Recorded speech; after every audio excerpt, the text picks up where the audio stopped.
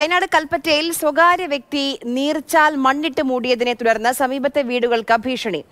ജില്ലാ ഭരണകേന്ദ്രത്തിന് തൊട്ടടുത്തുള്ള എമിലിയിലാണ് വീടുകൾക്ക് ഭീഷണിയായി വെള്ളക്കെട്ട് രൂപം കൊണ്ടത്. പ്രദേശവാസികൾ ജില്ലാ കലക്ടർക്കും പോലീസ് മേധാവിക്കും പരാതി നൽകി.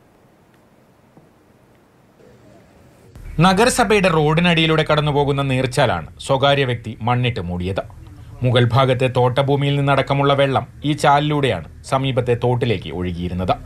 നീർച്ചാൽ തടസ്സപ്പെടുത്തിയതോടെ പലയിടത്തും വെള്ളം കെട്ടി നിൽക്കുകയാണ്.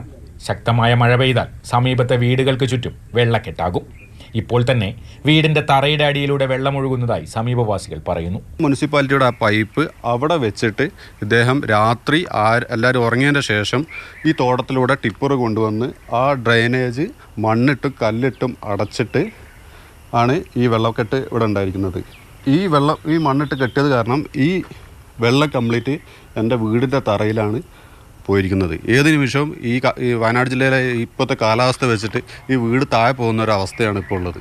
റവന്യൂ രേഖകളിൽ ഇപ്പോഴും നിലമെന്ന് രേഖപ്പെടുത്തിയിരിക്കുന്ന സ്ഥലമാണ് മണ്ണിട്ട് നികത്തിയത്.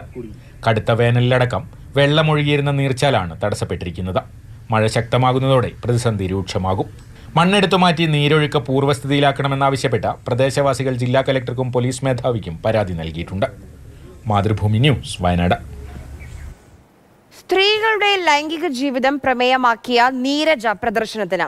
സ്ത്രീയുടെ ലൈംഗിക ആവശ്യങ്ങളെക്കുറിച്ച് സംസാരിക്കുന്നതിനെ നാണക്കേടായി കാണുന്നത് ശരിയല്ല എന്ന് നീരജയിലെ മുഖ്യ കഥാപാത്രത്തെ അവതരിപ്പിച്ച ശ്രുതി രാമചന്ദ്രൻ പറഞ്ഞു.